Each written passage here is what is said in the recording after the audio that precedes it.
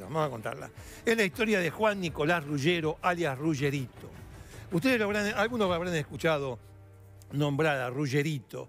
Rullerito era un matón. Era un matón de la década del 30 en Avellaneda. ¿eh? Eh, cuando el intendente era Alberto Barceló, un conservador, se hacía de todo. Prostitución, juego ilegal, fraude, era la época del fraude electoral, te cambiaban las urnas, hacían votar a los muertos, te metían un revólver en la cabeza, eh, más que cuarto oscuro, te metían votá al doctor Alberto, ¿va? Y, te ponía un desastre. Eso hacía este, Ruggero, que por otra parte eh, era eh, un tipo con antecedentes penales. Pero ¿cómo empezó Ruggerito? Ruggerito era hijo de un carpintero, estudió hasta cuarto grado. después eh, fíjense, estudió hasta cuarto grado, pero a los 18 andaba vagando por ahí. Al padre lo ayudaba de vez en cuando, carpintero, el tano y qué sé yo. Este, lo contratan para ser guardia de un prostíbulo. Los guardias de un prostíbulo en aquel entonces iban todos con bufosos, iban todos armados y qué sé yo, porque este, había rivalidades entre los prostíbulos y se, tiroteaba cada rato. pero era bueno, era bueno con, eh, con el morocho, era, era muy bueno. Y su fama ¿eh? de, de, hombre, de, matón, este, de hombre duro, de hombre fuerte, se agarraba las piñas, ganaba, qué sé yo, no tenía problema en sacar el revólver. Llegó hasta Alberto Barceló, que era el intendente conservador de Avellaneda. Eh, estuvo más de 20 años, era el rey de Avellaneda, Barceló, el rey. En, Avellaneda pasaba de todo, pasaba de todo, y todo lo sabía él, y lo permitía él. Bueno, pasó a formar parte de la, eh, guardia de, de, Barceló.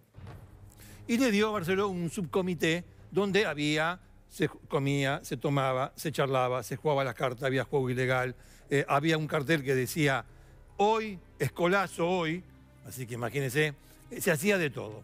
Este, y también regenteaba los prostíbulos y se dedicaba al fraude electoral. Resulta ser que esa situación en el año 30 aproximadamente, un poquito antes, antes, antes del 30, los primeros años, la década del, siglo, del siglo XX, cuando aparece un personaje en toda esta historia que usted conoce muy bien. ¿Saben quién es? Carlos Gardel.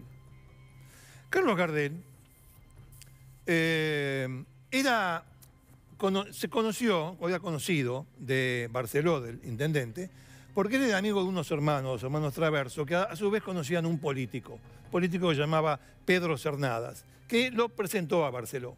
Barceló le dio a Gardel una cédula de identidad. Le dio una cédula de identidad donde figuraba que había nacido en Avellaneda.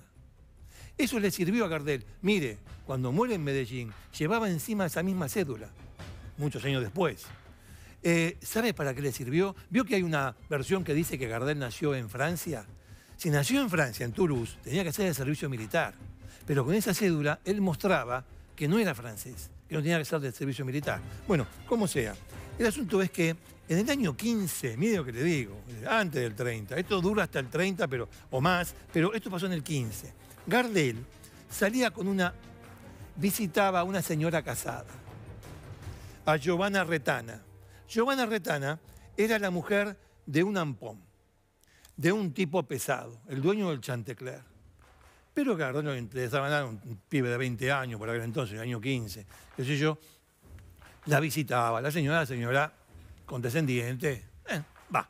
El marido se entera, el marido se entera, Estampón, Juan Garecio, ¿y qué hace el, tipo este? Le dice a uno de sus matones, a un tal Guevara, andá y pegale un tiro a Gardel.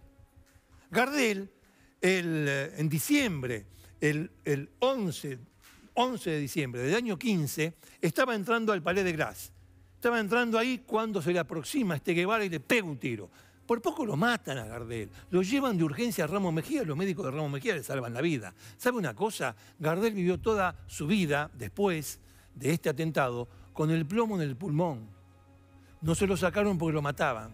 Así pensaron los médicos del Ramos Mejía, pero lo salvaron la vida. Lo que pasa es que Gardel tenía miedo de que Guevara mejor dicho, de que Garecio, el ampón, el marido de, Giovanna, este, fuese a terminar la tarea y lo fuese a matar.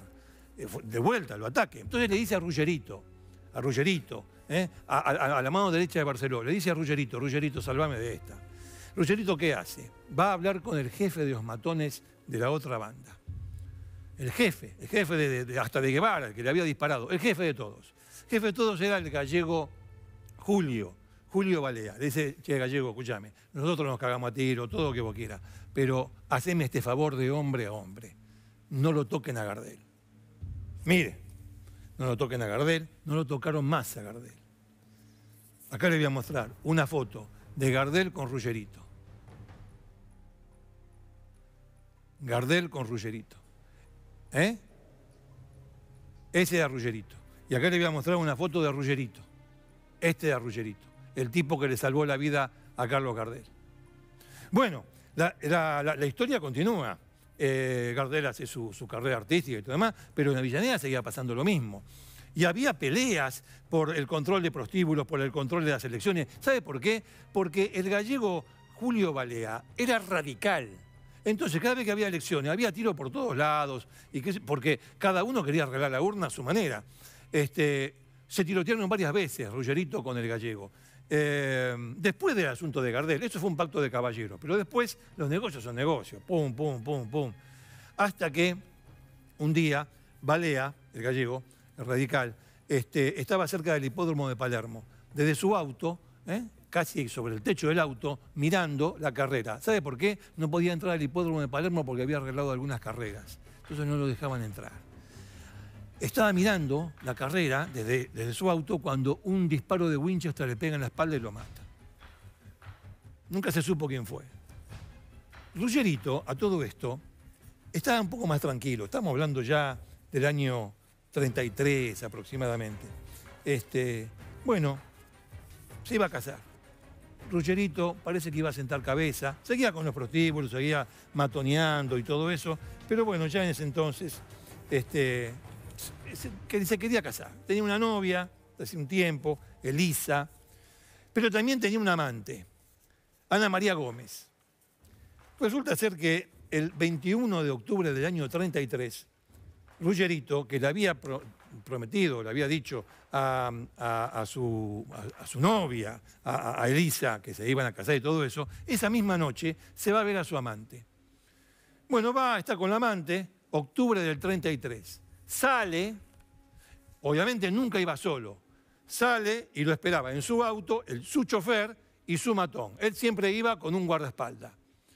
Sale de la casa de, Ana María, se despide de ella y estaba había, eh, el matón le abrió la puerta del auto, la parte trasera, estaba entrando cuando desde, atrás, por la espalda, ¡pa! le pegan un tiro calibre 45. Lo llevan al Fiorito, pierde la conciencia, se despierta Ruggerito, se despierta, ve a los que estaban allí, se sonríe y muere. Nunca se supo quién le disparó al matón. Lo que sí se supo es que su eh, entierro, su velatorio y su entierro fue multitudinario. Pocas veces se vio la cantidad de personas que fueron a despedir a este matón. A tal punto le digo que en su féretro colocaron una bandera argentina. El tipo tenía homicidios, robo, prostitución, extorsión, todo. Pusieron, los, políticos conservadores pusieron una bandera argentina. Cuando estaban llegando al cementerio, llega un auto de la policía, un patrullero de la policía, se bajan dos policías, abrieron el, eh, carruaje donde iba el féretro y le arrancaron la bandera argentina. Claro, un, delincuente con la bandera argentina. Y así fue enterrado Ruggerito, una leyenda del Lampa Nacional.